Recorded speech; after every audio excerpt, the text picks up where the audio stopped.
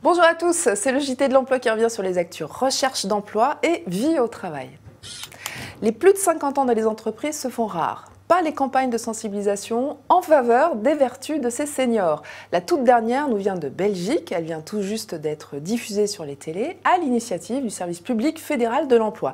Et regardez, les scènes sont plutôt inhabituelles. Des salariés juchés sur les épaules de collègues plus âgés, vaquent à leurs occupations comme si de rien n'était. Ils sont expérimentés et loyaux et ils épaulent toujours leurs collègues, explique une voix off. En ce sens, la Belgique suit l'exemple du Québec, qui a compris que pour changer les mentalités, il faut convaincre chaque génération sur ce qu'elles peuvent s'apporter mutuellement. A l'inverse, souvenez-vous, la campagne française vantait les performances individuelles des seniors. Je peux faire l'amour plus longtemps que vous. Qui sont les 50 employeurs qui font rêver les jeunes Européens? Autrement dit, ceux qui croulent sous les candidatures. Eh bien, sans grande surprise, c'est Google, EY et L'Oréal pour les étudiants en management et Siemens, BMW et IBM pour les ingénieurs. Ce classement est livré chaque année par l'Institut Universum qui sonde 100 000 jeunes étudiants dans 10 pays européens. Eh bien, on souhaite bon courage aux recruteurs de ces entreprises. C'est pas charte va falloir vous habituer à cette expression, surtout si vous travaillez dans l'une des entreprises signataires de la charte baptisée 15 engagements pour l'équilibre des temps.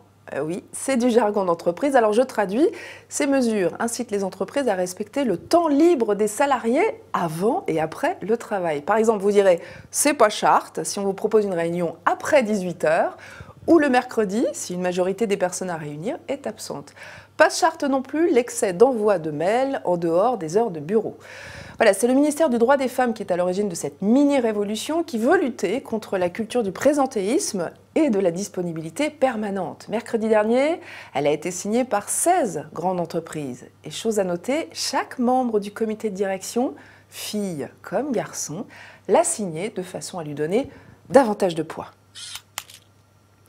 À propos d'équilibre de vie, je vous invite à lire un texte absolument remarquable. Il est écrit par un cadre qui se qualifie lui-même de grand brûlé du travail. Son blog s'appelle Je ne suis pas celui que vous croyez et il explique dès les premières lignes ce qui lui est arrivé. En français, c'est pas très sexy, ça s'appelle syndrome d'épuisement professionnel. En anglais, ça donne burn-out, c'est tout de suite plus vendeur. C'est mon deuxième de l'année, je suis en plein dedans, un peu à la fin, j'espère quand même. Si vous bossez beaucoup, beaucoup, ça ne vous dérange pas, mais que vous sentez que ce n'est pas très normal, lisez ce témoignage, il vous fera peut-être du bien. Prenez soin de vous et bonne fin d'année à tous.